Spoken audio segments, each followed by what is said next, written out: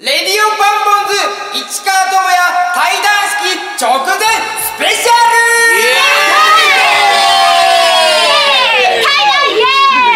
やめろ。お前は。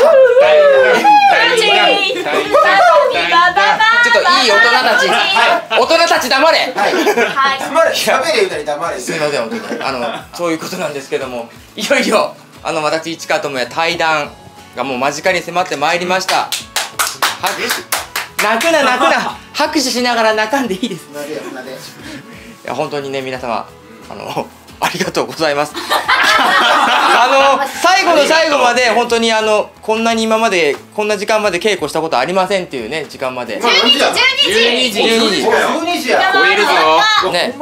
大体何をやるかっていうのはまだ言ってないんですけどもそうですあの稽古しているということは何か おいおい須藤さん。あとちょっと頑張ってあとちょっともうちょっともうちょっと頑張ってもらって。まあ何をやるかね皆さんはよく分かんないと思います。対談式。中身も僕はあえて言ってません。市川智也を振り返るまあ80分くらいになるとはい。歌ってますけども。なるかな？もっといくんじゃない？もっといくかな？まあそれくらいでまとめておかないと。あの午後ね2時からと夕方6時からの 2, 2公演ありますからあの皆さんもとっとと帰っていただいてですね。たっととっととお別れしていただいて。何出たって？お得意の言葉。こうやって皆さんに本当は違うんですよっていうこと注射したところがかゆい今どうでもいいでしょ？その話するところじゃないでしょ？なんでこの午前午前様になってそんな痛み出すんですかそれ病気ですよ。ありがとうございます本当に皆様。あの本当最後の最後までお付き合いいただいて。本当だよ。すみません。うるさいなあんべ。あんべそれガチャガチャ小道具だから。使うんじゃない。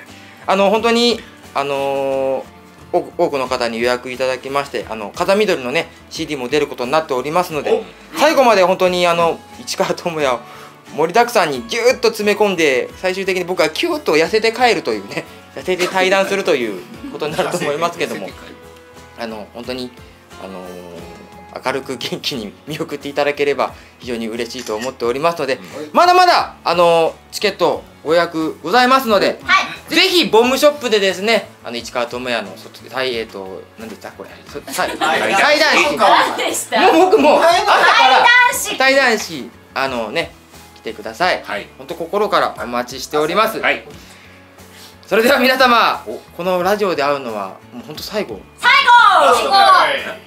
まだわかんない。最後。最後。西山。泣くな泣くなそれでは皆さんまたいつかお会いしましょう。バイバー